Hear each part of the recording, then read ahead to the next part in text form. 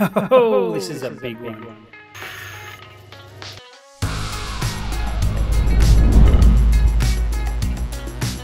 G'day and welcome to Black Opal Direct. My name's Justin. Well, today we're working on something monstrous. This is a 959 carat big chunk of opal. It's seam opal from Lightning Ridge and um, can imagine that there would have been more that came with this, but this was the only bit that I could get. Now it has a nice color bar going right through it, um, well almost right through it. So I'm looking at a quite a big stone. So this side here I think is got no color, but the rest has. So we've got chances of like a, you know, two, three, 400 carat stone, which uh, could be quite amazing. Now there is a couple of little things about it that is possibly, and it's very small possibility, that it could go black with this little tiny bit of black here of potch. Now, my experience is telling me that that potch won't touch the color. So I'm doubting that it will go black. I could be wrong, but I'm doubting it very much. So the first thing we need to do is get on the wheel and clean up the edges to, to make sure where that color bar goes and let's get a flashlight into the color bar and see if we can actually see uh, what's going on inside and whether that color bar is clean. I think it's clean. It should be clean. Usually on big pieces like this, it should be clean of sand, but there may be potch. You just don't know. So let's get on the wheel and have a crack.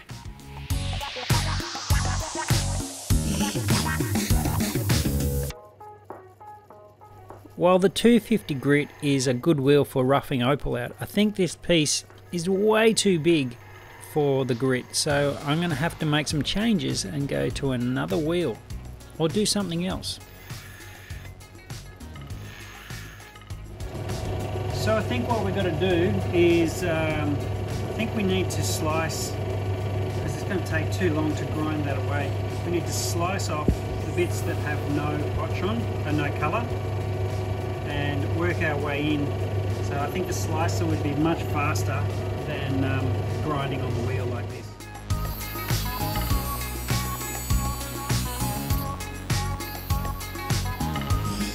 You may find a few sparks as I'm slicing through here and the reason is that I'm just being too impatient. I'm pushing too hard which has made me lose about 50% of the diamonds on this blade. So you really need to take it slowly, use lots of water, and your blade will last much longer. Because there's so much rough, I might move over to the 90 grit wheel to make it easier for me. To the 90 grit, which is the roughest wheel I have. The 90 grit is so rough, I wouldn't recommend it for smaller stones. It's so rough, it throws shards up into your eyes. So make sure you wear protection and keep your mouth closed otherwise you'll get grit in your teeth.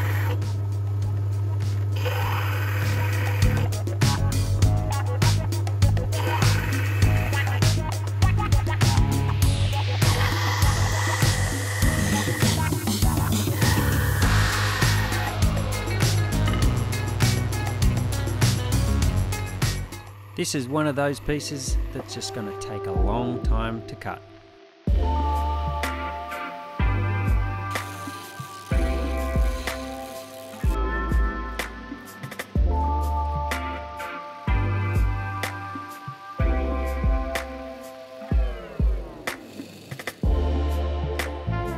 Hum, excuse me, you're not meant to be there. All jokes aside, I do take this business seriously most of the time. Okay, time to concentrate.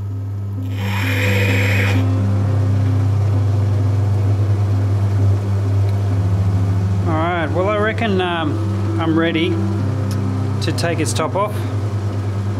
It's going to be a, a big face, and the hope is that we don't get um, too much potch in the color because there is um, like speckles of potch in that color and that's a bit of a worry when it comes to um, having a clean face. And that's the ultimate goal is to have a clean face. So I'd love that but um, we may not get it. So anyway we're going in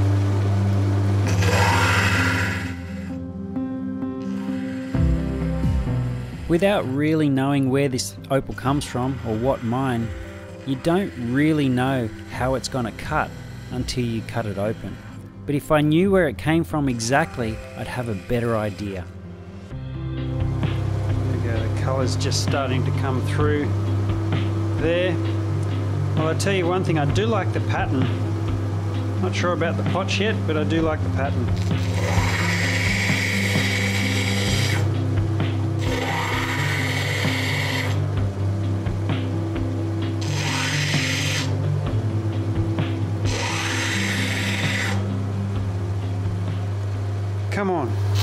This point, I'm starting to get worried because I don't see that colour bar cleaning up and uh, it's getting thinner, much thinner.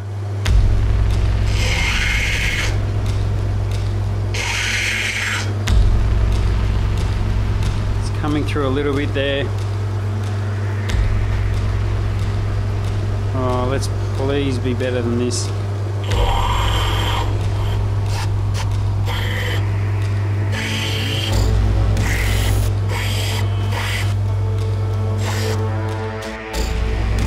Doesn't look amazing.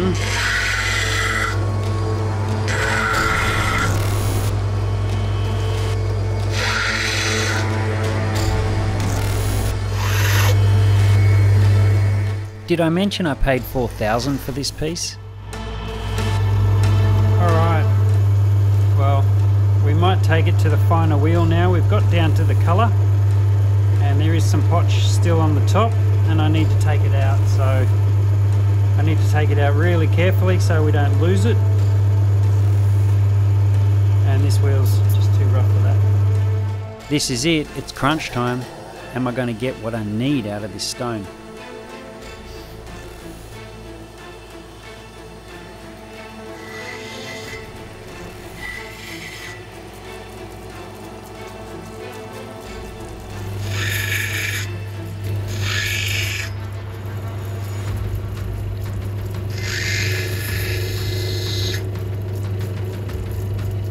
It's still really hard to tell whether this colour bar is going to be coming clean.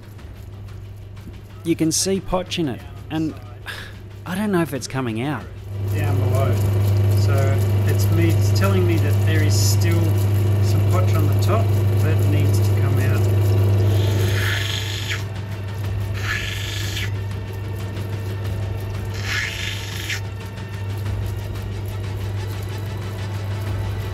Far out, I'm cutting it fine this time. Trying to get that last bit of sand out without losing that colour. It's becoming a challenge. I'm just not sure if it's going to come out.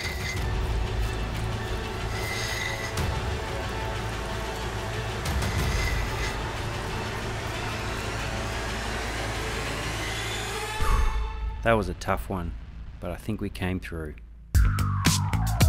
It looks like it's mostly clean. I can't believe it. It's fantastic. What to do? What to do? So we're going to shape it up just in a nice free form and we're going to go from there.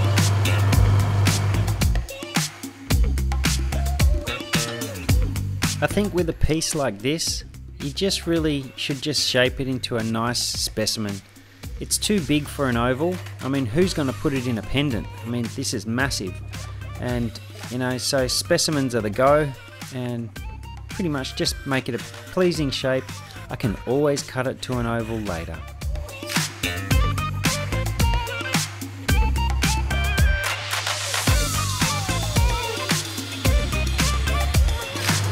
Alright, so I think we're, we're done there. Just pretty pleasing shape. Smoothened out the back. There's a little bit of purple on the back, which is cool. So, But I reckon now we do the fine cutting over here. Back on this wheel again.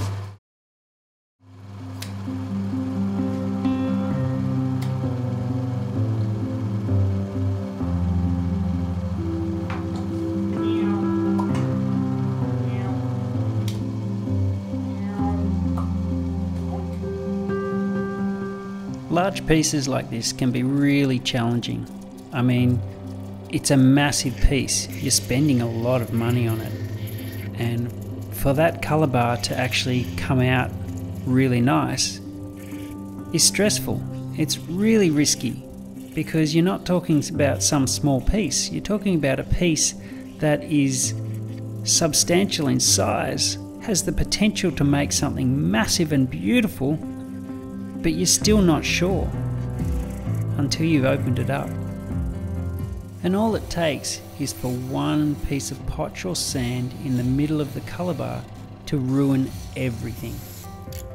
And that's why it helps to know where it comes from to know how it cuts.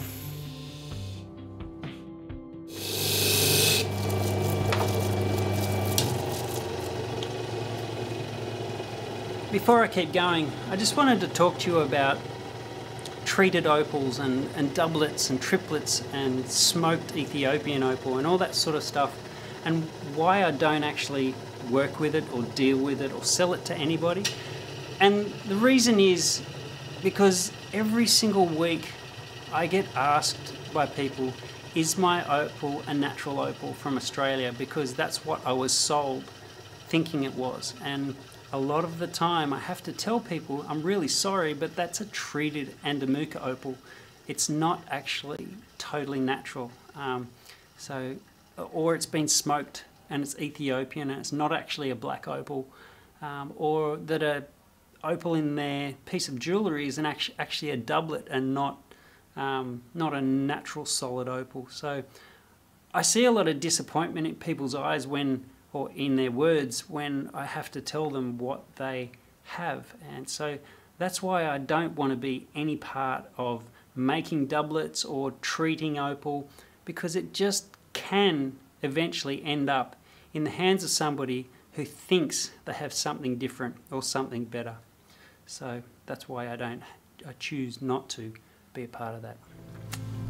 Let me know in the comments what you think of treated gems and don't forget to subscribe.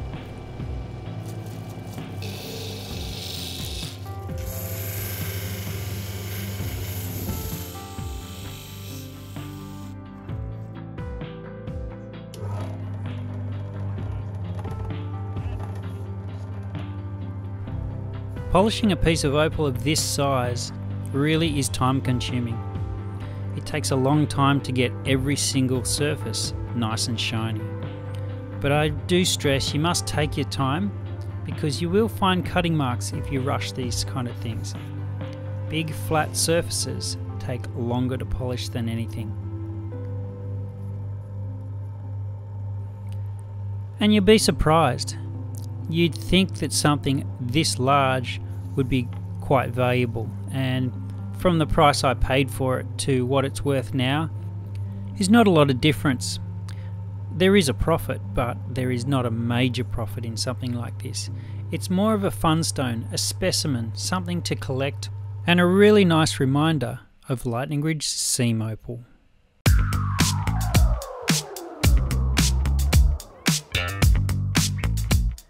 This gem ended up being around about 322 carats. Now it's really difficult to put a price per carat on a stone like this. With so much potch on the back, it's very difficult to do and you shouldn't actually do it.